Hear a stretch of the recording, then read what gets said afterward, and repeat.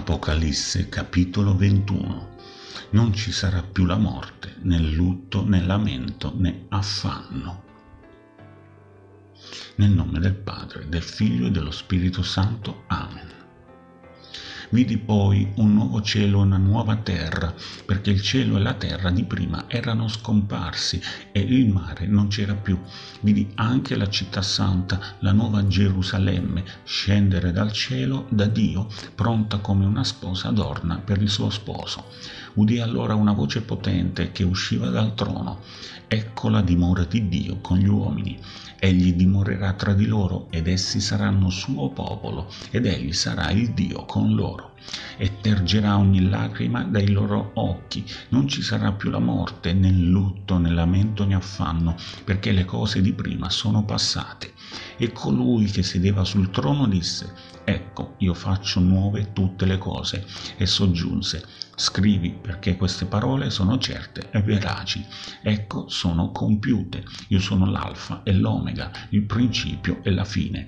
A colui che ha sete darò gratuitamente acqua della fonte della vita. Chi sarà vittorioso erediterà questi beni. Io sarò il suo Dio ed egli sarà mio figlio. Ma per i vili e gli increduli, gli abietti e gli omicidi, gli immorali, i fattucchieri, gli idolatri e per tutti i mentitori, è riservato allo stagno ardente di fuoco e di zolfo. È questa la seconda morte. Poi venne uno dei sette angeli che hanno le sette coppe piene degli ultimi sette flagelli e mi parlò. Vieni, ti mostrerò la fidanzata, la sposa dell'agnello. L'angelo mi trasportò in spirito su di un monte grande e alto e mi mostrò la città santa, Gerusalemme, che scendeva dal cielo, da Dio, risplendente della gloria di Dio. Il suo splendore è simile a quello di una gemma preziosissima, come pietra di diaspro cristallino. La città è cinta da un grande e alto muro con dodici porte.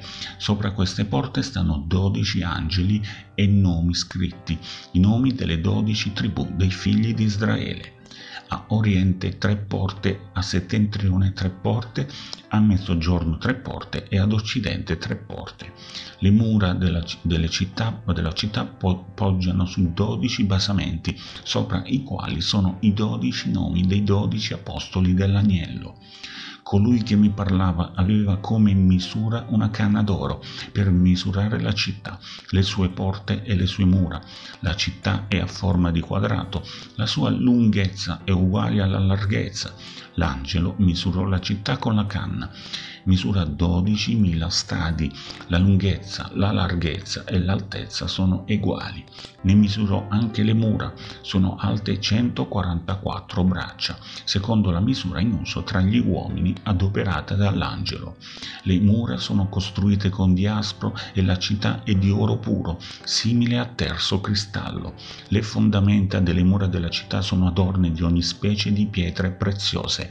Il primo fondamento è di diaspro il secondo di zaffiro, il terzo di calcedonio, il quarto di smeraldo, il quinto di, sardone, di sardonice, il sesto di cornalina, il settimo di crisolito, l'ottavo di berillo, il nono di topazio, il decimo di crisopazio, l'undicesimo di giacinto, il dodicesimo di ametista.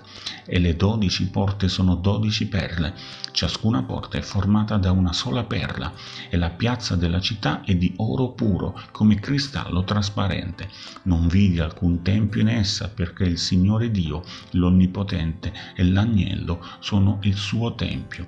La città non ha bisogno della luce del sole né della luce della luna perché la gloria di Dio la illumina e la sua lampada è l'Agnello.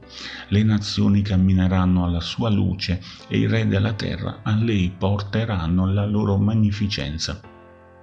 Le sue porte non si chiuderanno mai durante il giorno, poiché non vi sarà più notte, e porteranno a lei la gloria e l'onore delle nazioni. Non entrerà in essa nulla di impuro, né chi commette abominio o falsità, ma solo quelli che sono scritti nel libro della vita dell'agnello. Nel nome del Padre, del Figlio e dello Spirito Santo. Amen.